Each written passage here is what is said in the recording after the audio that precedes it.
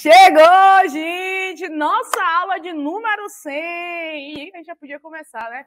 Hoje vai ter uma festa, bolo guaraná, muitos doces para você, é o seu aniversário. Pois é, nossa aula de número 100. E, obviamente, a prova vai até tentar acender a velhinha aqui. Momentos de oração para que a professora não coloque fogo no estúdio, ó. Cadê, cadê, meu Deus? Acende velhinha. Essa velhinha é tão difícil de acender, gente. Olha! Hoje vai ter uma festa. Bolo e Guaraná, muitos doces. Cadê pra Vânia e pra Suzana, gente? Muitos doces para você, é o seu aniversário. Nossa aula de número 100, gente. Momento de comemoração, momento de agradecer. A velhinha tá até chegando no final, chegou. Sopra ou não sopra? Sopra? Soprei. E vamos agradecer, né? Cadê para Suzana e para Vânia, gente, que não chegaram aqui? Deixa elas aparecerem aí. olha, olha, aí para Suzana e para Vânia, né? O poste de Promaria nesses momentos de aula. E, e vamos lá? Agradecer as meninas que estão aqui do lado, lindas e maravilhosas, né, gente? Fortes e corajosas, aí todo mundo usando máscara, separadas de Pro Maria. E passamos para a aula 100, gente, que vem a nossa aula de número 150, a nossa aula final. Vamos lá? Ó, ó, ó. Quer assim, assim, assim? Ó. Uh!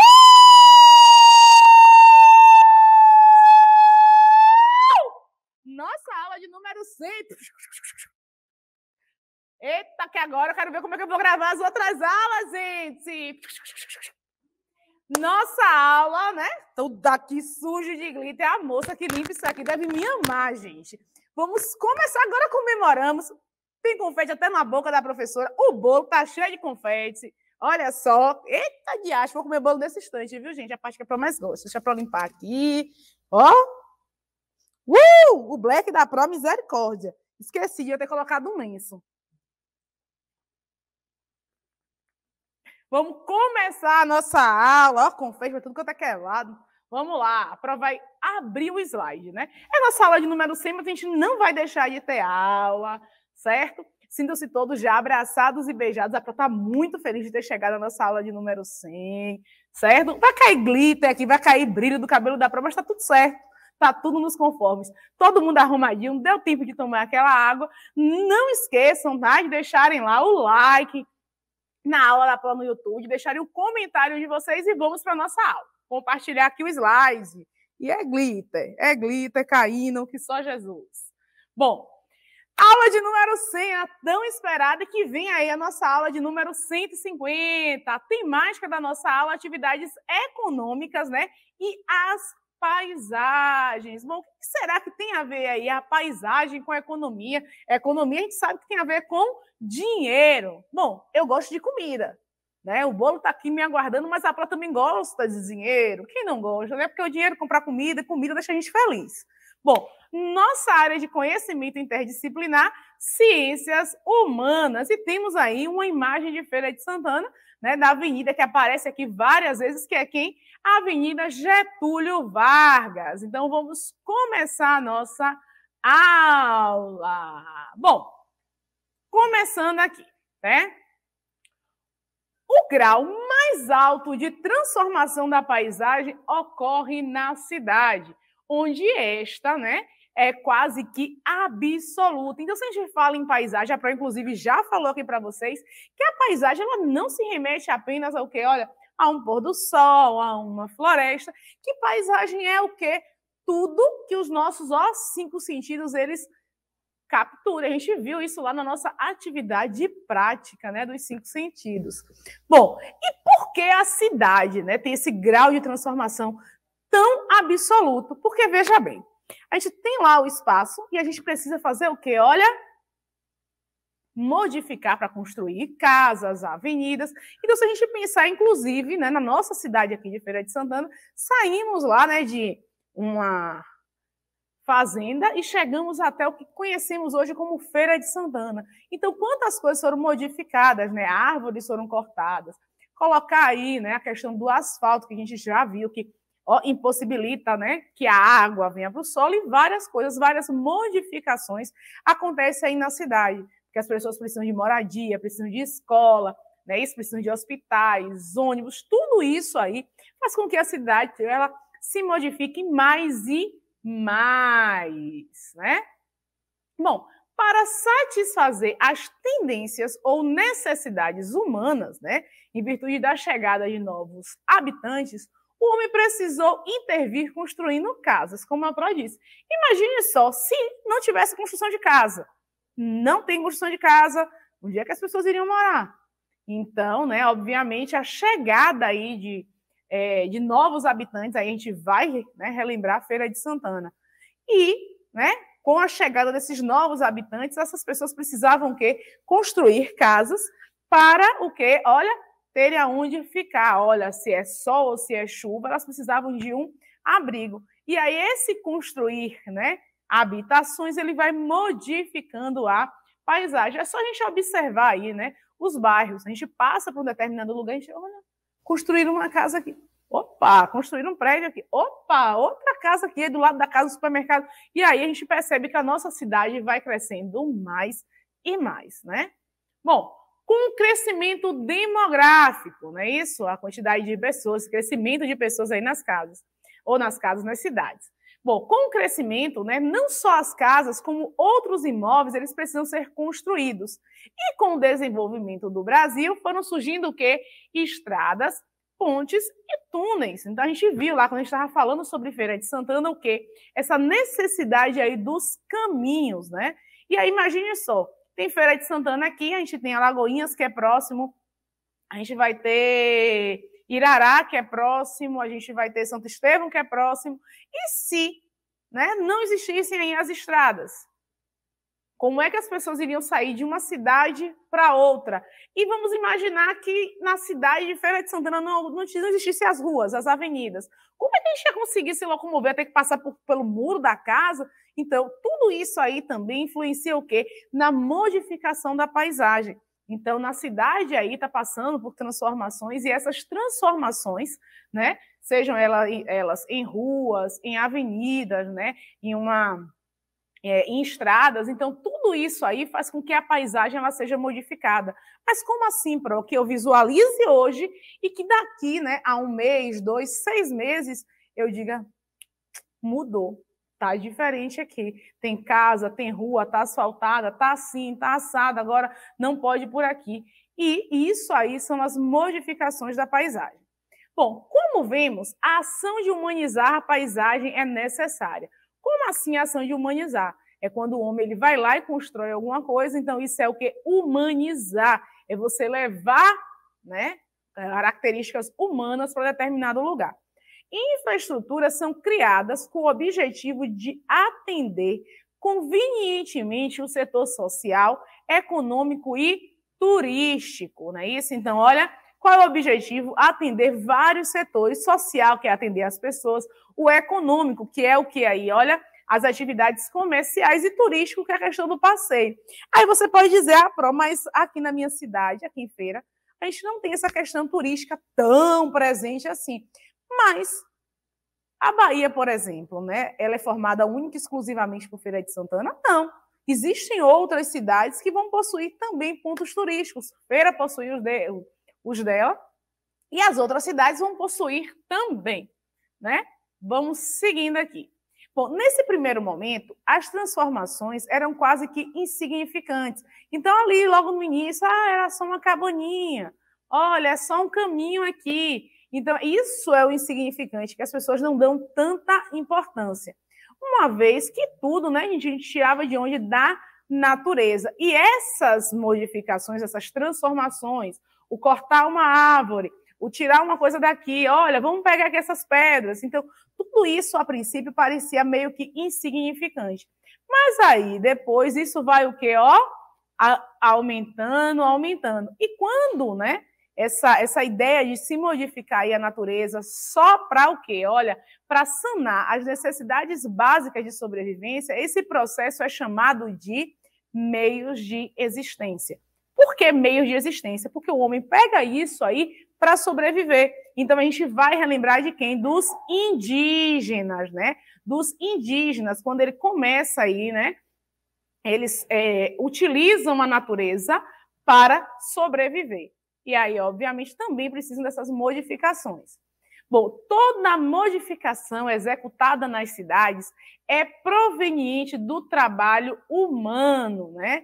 Então, aí na cidade, as modificações, né, em sua maioria, elas são provenientes do quê? Do trabalho humano. E aí a gente tem aqui essa imagem, né, que é o quê? Olha, na Lagoa do Jacaré e a plantação de árvores. Árvores estão sendo plantadas, tá? Bom, dúvida? Bom, vai estar tá com dúvida, vai anotando aí no caderninho de vocês, que é para tirar com a prova. Bom, vamos lá? Qual a atividade que deu origem à nossa cidade? Qual foi a atividade que deu origem à nossa cidade? Você sabe? Bom, hum, pesca, será? Ai, meu Deus, será o que foi? Foi o, você sabe? Que lá, quando a Pro estava contando, né? Será que foi o turismo? As pessoas estavam ouvindo aqui? Foi a mineração? O que será que deu origem à nossa cidade? Você sabe que a Pro, inclusive, falou aqui com vocês, né? Que essa tal coisa, né? Essa vinda das pessoas para aqui, né? E aí tem a foto, né? Que é o nosso spoiler. Isso aí é o quê? O centro da nossa cidade. O que, a gente está vendo aqui no centro da nossa cidade? São o quê? Lojas e são o quê? Ó, o comércio. Então, o que deu origem aí à nossa cidade foi exatamente o comércio. Vamos fazer uma retomada aqui, né? A gente eles tinham esse caminho que passava, né?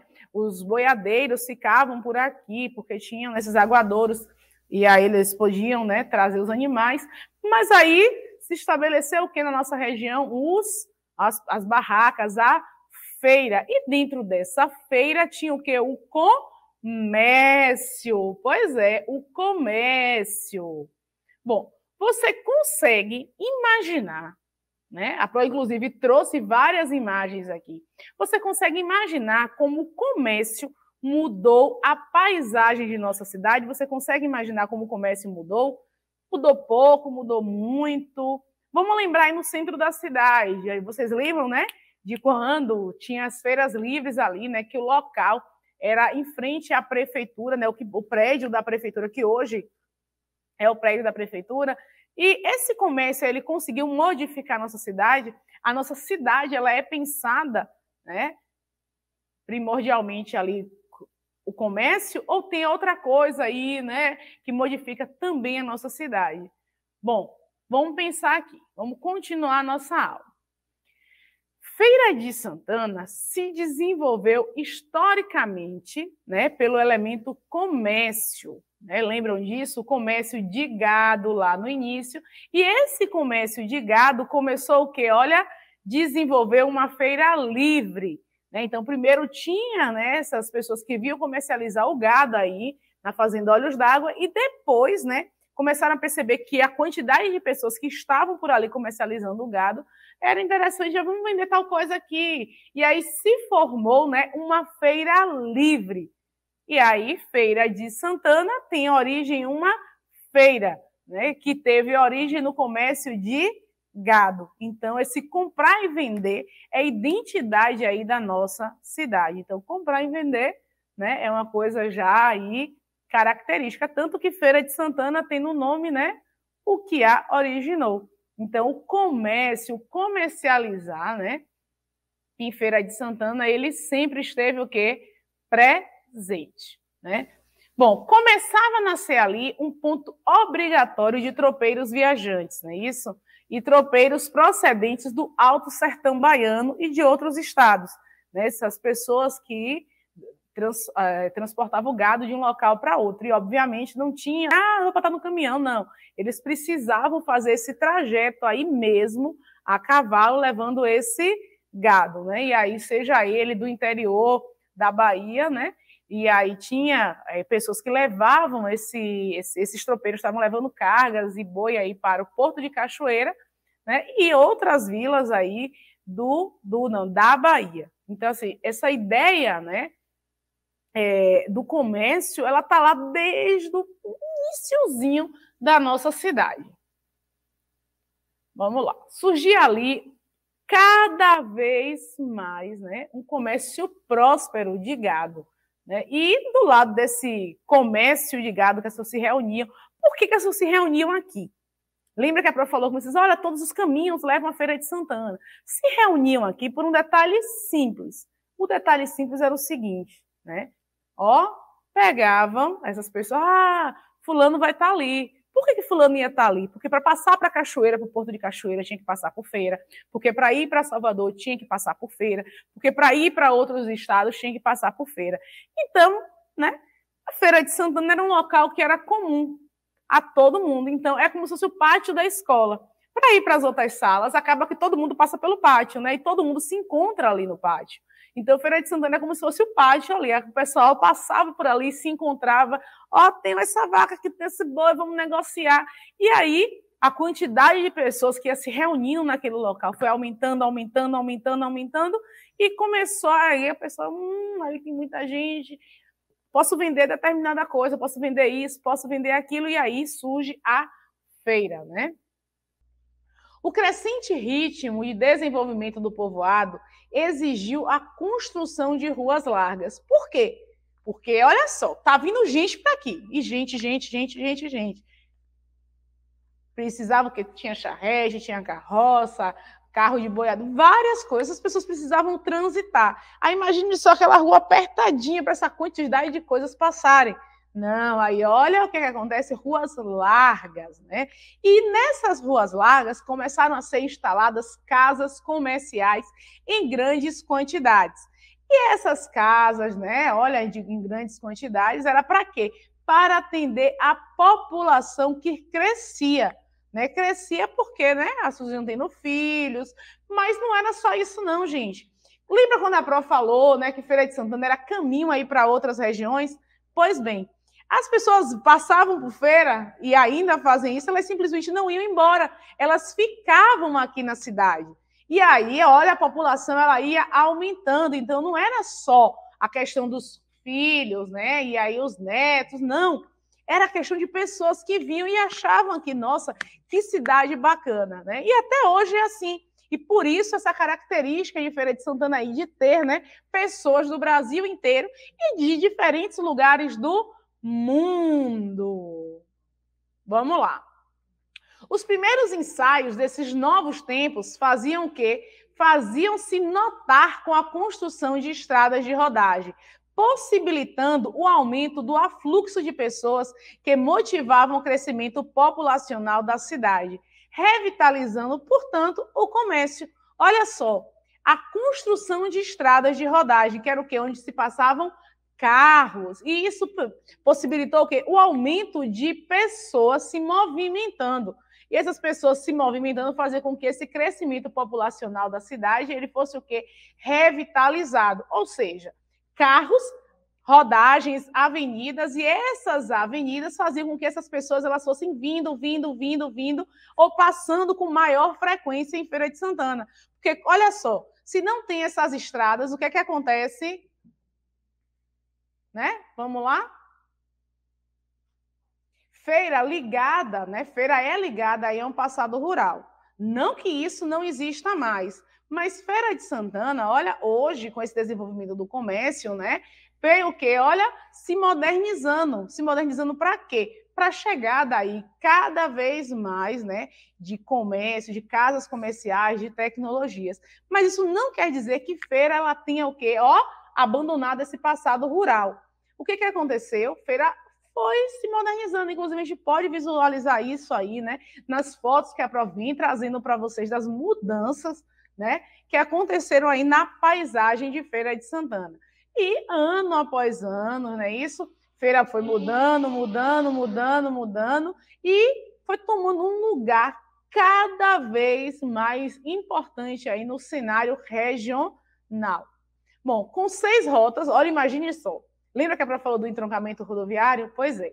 Com seis rotas para transporte de produtos, hoje Feira de Santana é destaque na produção industrial da Bahia e teve o maior crescimento no setor, né, no estado, nos últimos anos. Então, Feira de Santana está crescendo né, e trazendo aí empresas, indústrias para a cidade, e isso faz com que ela cresça e ela, olha, comece ainda, né, a ter, ó, mais importância ainda no Estado. Mas isso também é proveniente de que, olha, seis rotas. Isso quer dizer que você tem seis caminhos diferentes para ir para locais diferentes, regiões diferentes do país. A cidade né, tem o quê? Ó, 14.538. 14 mil, gente. 538 empresas ativas. E essas empresas, elas geram né, quase 133 mil empregos. É bastante emprego. O comércio hoje representa aí 50% do perfil empresarial, ou seja, a metade. Seguido do setor de serviços, tipo, ah, o salão de beleza é um setor de serviço, porque está prestando serviço a alguém. Né? Aí o setor de serviço ter 33% e a indústria, né? Ó, vai ter o quê? Com uma fonte, né? Uma forte, né? É, na economia do município corresponde a apenas 9,8, né? Nesse aspecto. Então, olha, a gente tem o quê? A metade a cada 100, né? O comércio tem a metade, depois vem essa questão da prestação de serviço, que são as, as lanchonetes, lavanderias, uma manicure, um salão de beleza, e depois a gente vai ter o quem aí? Olha, as indústrias, né, que vão ter aí quase 10%, o que comparado ao comércio, né, é bem pouquinho. Bom, são poucos hoje no Brasil os municípios com os índices de crescimento que se verificam em Feira de Santana, seja desde a sua fundação, lugar destinado aí, né, ao desenvolvimento. E isso se dá justamente por conta do comércio. Então, se a gente fosse comparar a Feira de Santana aí com o resto do Brasil, nossa, a gente ia dizer, poxa, a Feira de Santana está crescendo pra caramba e está crescendo mais do que muitos municípios por aí. Principalmente, né, inclusive, principalmente e inclusive, nesse período de pandemia, que Feira de Santana ainda segue aí, com mesmo com toda a dificuldade, segue crescendo, tá? Atualmente, Feira de Santana é a segunda maior cidade do estado e tem como atividades né, econômicas principais, olha só que a gente falou aqui agora, o comércio, que é o primeirão, top de linha, o topo da nossa pirâmide. A gente vai ter o comércio, a indústria, os serviços que a Pro falou, a agricultura e pecuária, né, que é o pessoal aí que trabalha com a agricultura. Nossa agricultura é agricultura familiar, né? É a agricultura e a pecuária, né, que é o pessoal principalmente aí dos distritos, né? O comércio ainda continua modificando a paisagem da nossa cidade? Você acha que ainda hoje o comércio modifica? Bom, será que na nossa cidade tem alguma construção aí que foi feita, né, direcionada aí para o comércio? Bom, será que a nossa cidade, né, a locomoção dentro da nossa cidade, as ruas e avenidas, se vai ser mão dupla, se vai ser mão única, será que isso aí é pensado de acordo com o comércio? Bom, eu sei que a maioria de vocês aí dificilmente vai ao comércio, principalmente nesse período de pandemia e por conta da idade, mas quando a gente vai no centro da cidade, que a gente observa a paisagem do centro da cidade, vocês conseguem imaginar né, que a cidade ela foi formada pensando aí no comércio e que hoje ainda, né, essas modificações que acontecem aí, elas são feitas pensando no comércio. Pois é, e aí a gente vai trazer algumas imagens aqui para vocês. Primeiro aqui a Sales Barbosa, né? A foto antiga aí da Sales Barbosa, com várias barracas, né? E aí a Sales Barbosa, a modificação, né? Então, se a gente pensar, antigamente aqui, né, era uma, uma espécie de praça gigantesca, ultimamente aí já passou por uma transformação a Sales Barbosa, e, né, ela foi pensada aí no comércio dessas lojas aqui do lado, não no comércio ambulante, mas no comércio, né, das, é, das lojas físicas que estão aqui. Então vamos lá. Aqui é uma outra visão ainda da Salles Barbosa. Desse lado aqui a gente tem as, as lojas, né? E aqui a gente tem os camelôs, né? Aqui, né, a gente tem uma outra imagem que é da Marechal Deodoro, né? Que a gente tem aqui o comércio, né? O comércio aqui, né? Dos ambulantes, o comércio aqui de um supermercado grande da nossa cidade e que também, né? Movimenta e movimenta muito aí a economia. Aqui a gente continua também né, com a Rua Marechal Deodoro, essa banca aqui, essa essa aqui, aqui é minha mãe, gente, ó, tá limpezinha na foto. Aqui a gente tem o Feraguai, que também, né, várias pessoas vêm aí de várias regiões querendo conhecer o Feraguai, né, que tem produtos aí é, similares a produtos caros, e aí você consegue encontrar aí no Feraguai. Então, vá, chegou em feira, pô, ah, eu quero ir no Feraguai.